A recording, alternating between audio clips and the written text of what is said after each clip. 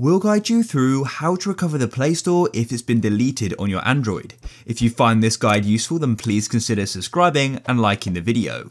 So there are two different things that may have happened. Let's say when you hold your finger on it, remove or selected, then what will happen is it's just going to be moved into your apps. If I swipe down, you'll be able to go and see it here. It was just removed from your home screen. You can hold your finger on it and add it to home again and then it will appear there again.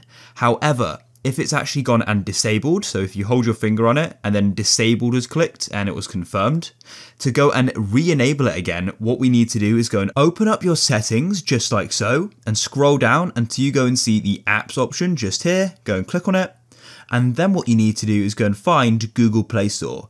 This is in alphabetical order, and so here it is just here, and as you can see it's disabled, and then all you need to do is come to the bottom and click enable, like so. Then you can close off the settings like so, and it may not immediately be on your home screen. If you open the App Store, you should be able to go and find it, hold your finger on it and click on add to home, and then it'll be back and you can use it again.